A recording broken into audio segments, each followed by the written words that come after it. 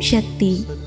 ನಾಳೆಯ ಪ್ರಪಂಚಕ್ಕೆ ಆಧ್ಯಾತ್ಮಿಕತೆಯೂ ಮತ್ತು ಯಾಗವೂ ಅವಶ್ಯಕ. ವಿವರಣೆ. ಕಳೆದ ಕೆಲವು ಶತಮಾನಗಳಿಂದ ವಿಜ್ಞಾನ ಮತ್ತು ಉದ್ಯಮವು ಮಾನವನ ಜೀವನದಲ್ಲಿ ಪ್ರಮುಖ ಪಾತ್ರ ವಹಿಸಿದೆ. ಅದನ್ನು ಸರಿಯಾಗಿ ಗಮನಿಸಿದರೆ ಒಳ್ಳೆಯದಕ್ಕಿಂತ ಕೆಡುಕುಗಳೇ ಹೆಚ್ಚು ಸಂಭವಿಸಿದೆ. ಆಧ್ಯಾತ್ಮಿಕ ಭಾವನೆ ಇಲ್ಲದ ವಿಜ್ಞಾನದ ದೃಷ್ಟಿಕೋನವೇ ಇದಕ್ಕೆ ಕಾರಣ. ಅಂದಿನ ಕಾಲ ಚಿನ್ನದಂತಹ ಕಾಲ ಎಂದು ಹೇಳುವರು.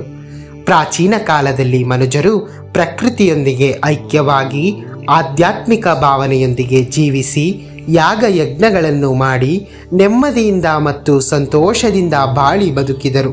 ಹಾಗೆಯೇ ಆಧ್ಯಾತ್ಮಿಕತೆಯ ಆಲೋಚನೆಗಳಿಂದ ಕೂಡಿರುವ ಬದುಕು ಮತ್ತು ಯಾಗ ಯಜ್ಞಾದಿಗಳನ್ನು ಮಾಡುವುದರ ಮೂಲಕ ಉತ್ತಮವಾದ ಭವಿಷ್ಯಕ್ಕೆ ಸಹಕಾರ ಮಾಡುತ್ತದೆ ಎಂದು ಅಮ್ಮನವರು ಈ ದೈವವಾಣಿಯಲ್ಲಿ ತಿಳಿಸಿದ್ದಾರೆ. ಓಂ ಶಕ್ತಿ.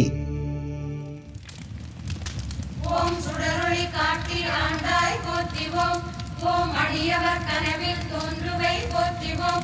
ஓம் மரப்பை செழித்திட அருள்வாய் போற்றிவோம்.